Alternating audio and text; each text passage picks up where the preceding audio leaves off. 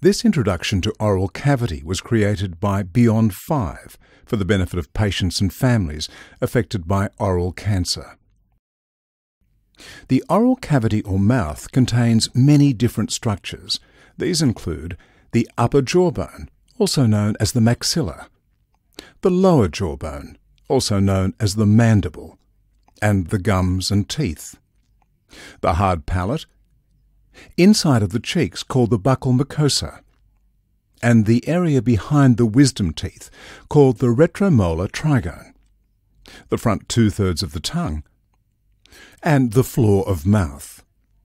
The oral cavity is important for talking, tasting, chewing, and swallowing food.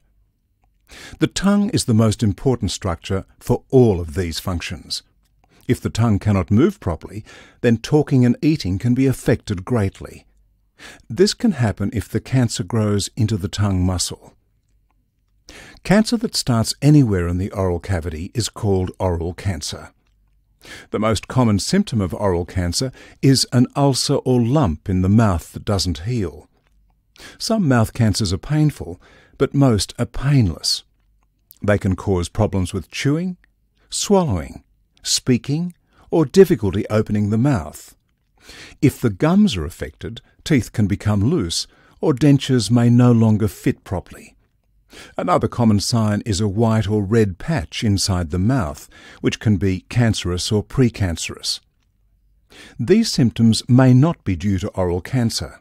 However, if you have any of these symptoms for more than a few weeks, talk to your doctor so that problems can be diagnosed and treated as early as possible. Oral cancer can sometimes spread into the lymph nodes, causing a lump to appear in the neck. Lymph nodes are bean shaped glands in the neck that are part of the immune system's defense against infection. Oral cancer is generally treated with surgery.